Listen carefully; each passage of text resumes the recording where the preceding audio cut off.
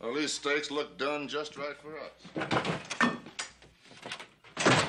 You cowhands ain't no hurry to eat, are you? Well, are you? I guess we could do with another drink. Well, now, that's right neighborly of you, partner.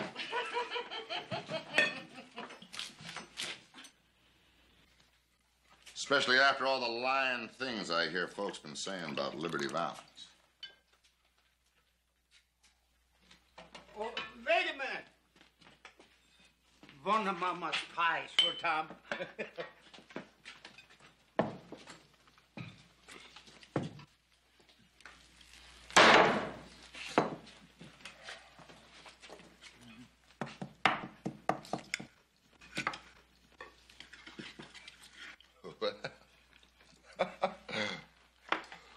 Looky at the new waitress.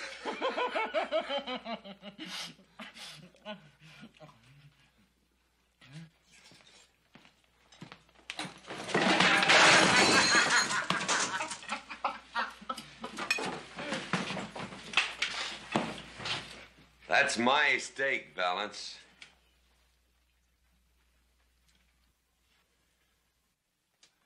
You heard him, dude. Pick it up. No. Pilgrim, hold it. I said you, Valance. You pick it up. Three against one, Doniphon. My boy Pompey. The kitchen door.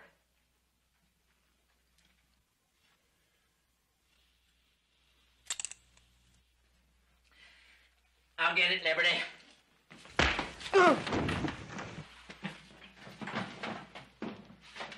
I said you, Liberty. You pick it up. What's the matter? Everybody in this country killed crazy? Here! There! There! Now! It's picked up!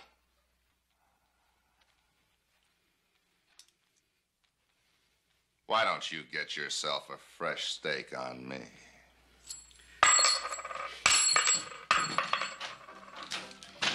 Show's over for now.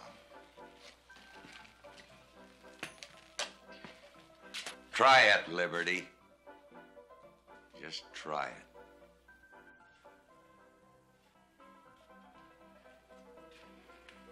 Well, get out!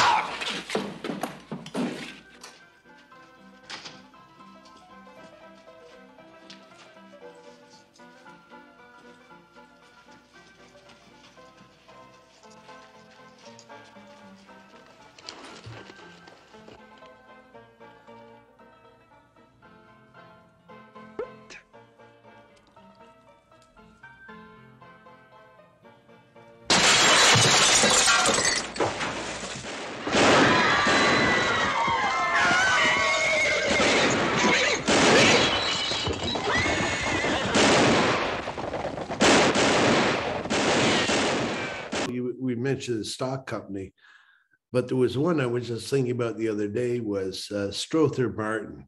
Yes. One of the bounty hunters in the Wild Bunch. But in that year, Strother Martin is in uh, Butch Cassidy's Sundance Kid, True Grit, and the Wild Bunch, the 3 Mhm. big westerns of that year. And Strother Martin's in every single one of them. Yeah, Martin's underappreciated. He was also great in The Man That Shot Liberty Valance, which may have my favorite Western confrontation of all time when they trip Jimmy Stewart and and you got you got John Wayne on one side of the room, and you got Lee Marvin, Lee Van Cleef, and Strother Martin on the other side, and then you got Woody Strode pop into the scene, and it's like what a talk about a stacked lineup for a Western gunfight. Your road to redemption is paved with tombstones. No quarter, kill all masters. Go to no quarter, killallmasters.com. Rated R.